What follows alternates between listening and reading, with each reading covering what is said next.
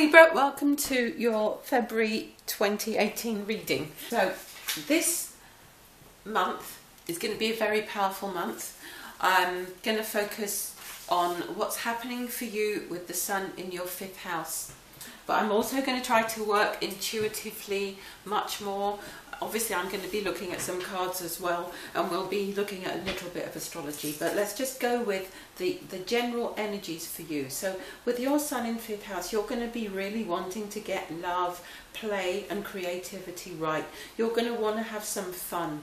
You're going to want to express yourself creatively much more. You're going to just want to feel as if you're having a good time and you're going to want to be releasing um, anything that feels burdensome anything that feels like obligations anything that feels like you're weighed down by what's expected of you in the community, um, the 11th house, all those 11th house issues, that's going to be what you're releasing.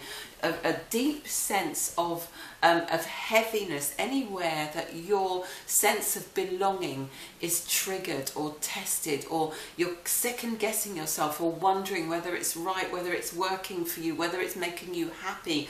You're going to really be wanting to focus on your inner joy. You're going to really want to be focusing on what it is that really, really makes you happy. It, it feels as if the time has come for you to throw off the shackles that keep you bound and to go after your own happiness.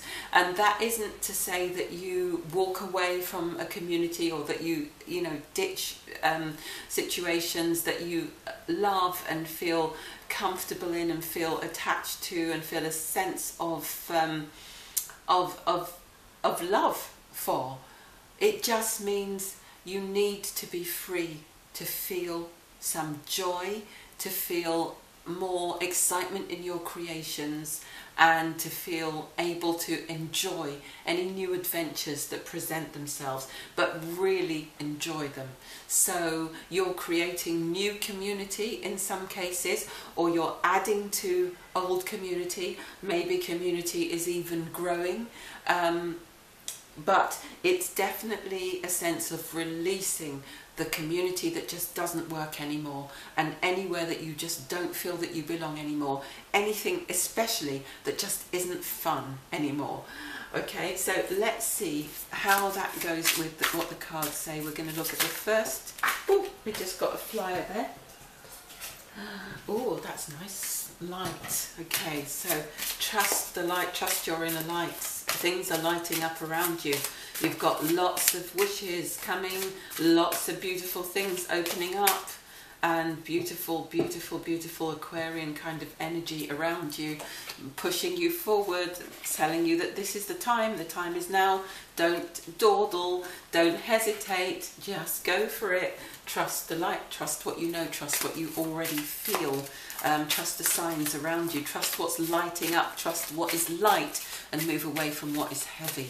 So, where are we going with the angel cards? Ooh, just got a shiver there. Okay, release any heavy or dark energy that does not serve you anymore, Libra. It's a time for lightness and celebration. You've earned it. Okay, so the first week could be a bit more suffering in silence for a little bit longer, a little bit of, um, you know, just allowing yourself to, to continue to be burdened with things that don't suit you anymore, that don't feel quite, quite right. Um, I feel this very much in my chest. I feel like there is a weight there. There is a sense of wanting everything to be okay, wanting everyone to get along, just wanting everyone to be okay and to be as, you know, as giving and as hopeful and as, as um, you know, I don't know, compromising if you like, willing to compromise, as accommodating as you are.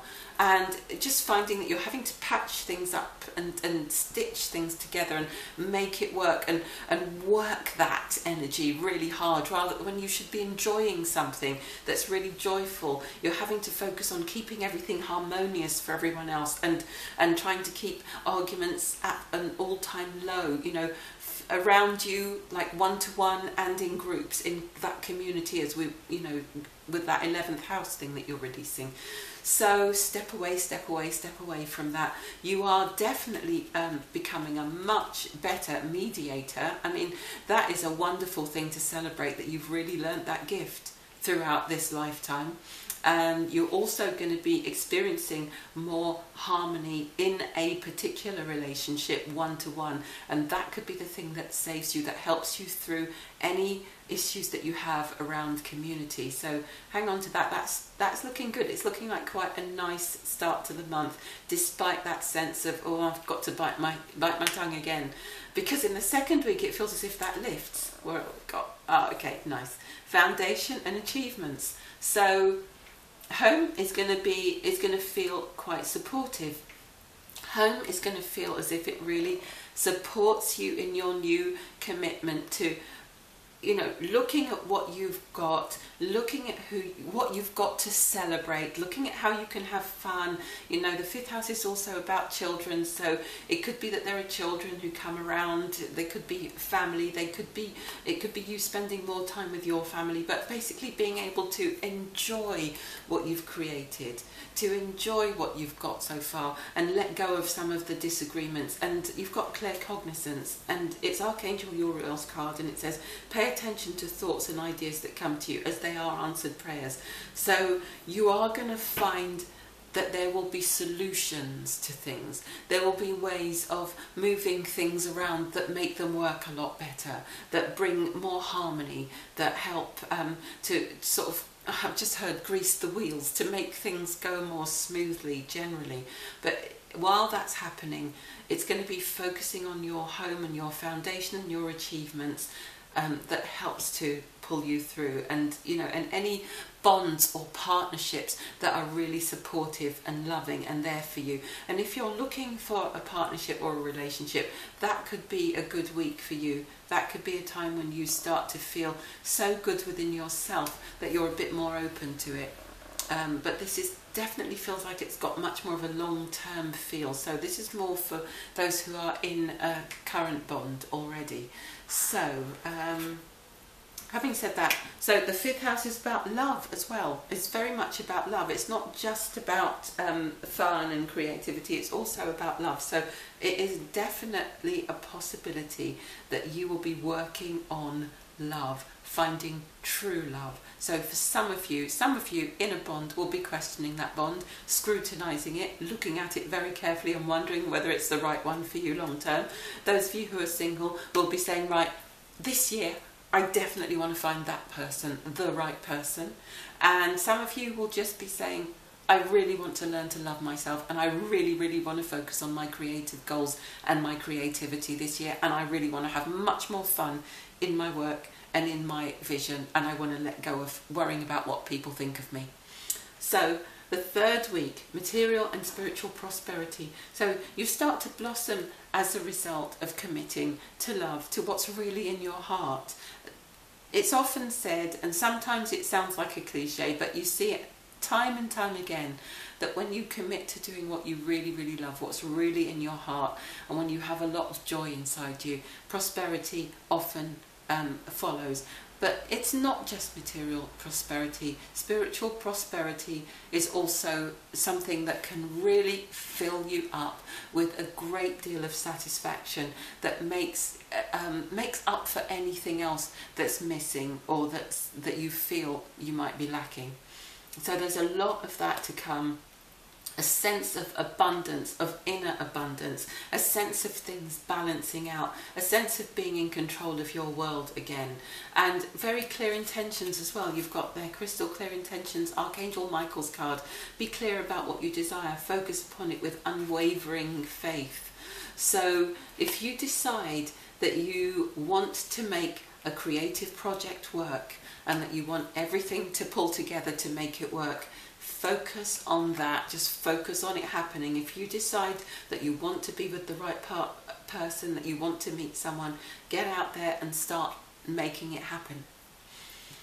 Okay and the fourth, word, uh, fourth week. Okay ignited passion. So this is going to be a fantastic time for anyone who is working on creativity because this is the card that's all about creativity. It's all about new beginnings in creative passions. It's all about being able to express yourself and to feel that divine fire, that spark within you actually coming out and going out into the world in the form of something new, exciting, fresh and enlivening for you and for others. And also, there's going to be some element of teaching. So, if you're a teacher who created, who, if you're a teacher who teaches something creative or something spiritual, deep spirituality, if you're a spiritual teacher, if you're, especially if you're a kind of unusual spiritual teacher who teaches something new and leading edge. This is sort of like a Kundalini energy. This is going to be a really exciting week, and it could be a week when you take your teaching up a notch, or when you decide to take it up a notch to do another really exciting venture. So it's looking really great. I've got to say, even though Fifth House is very much about love, this is looking like a really exciting um, spread for creative ventures and prosperity and abundance coming from creative ventures or just new adventures, new offerings. Um, new courses, new teaching, new things that you bring to the world, anything that you manifest onto the physical plane through a fiery, passionate intention to, to bring something new. Um, but for those of you looking for love, it can also be a very, very passionate time as well. I'm going to pick one more card from the angels. Courage. Have courage. Have the courage to, to do what you know you need to do to bring absolute joy into your life. That's what it looks like to me. So if you're holding back because you're worried about what people will think about you, if you just go for doing what you really, really love and what you really, really feel is in your heart, um, you can't hold back like that anymore. You're not going to be allowed to do that because it's going to get more and more uncomfortable for you to hold on to anything that's heavy. So February is going to be a time when you maybe finally admit that to yourself that you need to make some changes. Maybe you need some help in managing things or changing things or you need to just refresh things a little bit or move things around a little bit. It's not necessarily a complete change, but it's there's a change that you know will make a difference or you will definitely know around the middle of the month and you're being asked to have the courage to start um, at least thinking thinking about it very seriously. okay, Libra, I hope you have a fantastic February. Um, and uh, yeah, happy February, happy happy 2018 um, February, because it feels like a very exciting February. And hopefully I will speak to you again soon. Bye.